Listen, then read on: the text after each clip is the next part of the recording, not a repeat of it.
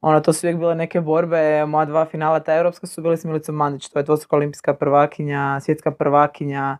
I ono, sjećam se te, tog prvog europskog, meni je to bilo ono to finale, stres života i sjećam se vodila u Baku, sam. jel tako? Da, u Baku. Ja sjećam, vodila sam i njezin trener je digao neki karton, ono kao, da ja sam rekla gotovo, sad ću ja izgubiti, oni će mi važiti taj karton i, u tom trenu ekipa na tribinama počela ono navijat, ja mislim nisu valjda glasnije mogli navijat i mene to baš onako ponijelo, baš sam osjetila tu ono kao ok, mogu ja to, imam iza leđa ono cijelu ekipu, trener je tu, ono idem, zašto ne, on zašto ne bi ja to mogla.